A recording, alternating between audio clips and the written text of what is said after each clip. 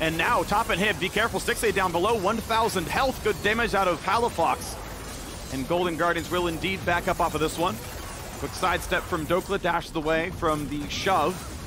And this Red Bull Baron power play, really solid. 3,100 gold as the wave falls. Going for a little bit more. Tackle back to Dhokla. Interrupting him, killing him. Stixxay is already legendary. River starts it up again. He's running so low on health, and he does get shuffled Oh, down. Palafox! Palafox shoves him in, but there's nothing else to do. In his eyes are the Quadra kill. In his eyes are the Pentakill. And Stixxay, you better not steal this. And he takes down all five. Stixxay going off. Golden Guardians battling back here in game number two.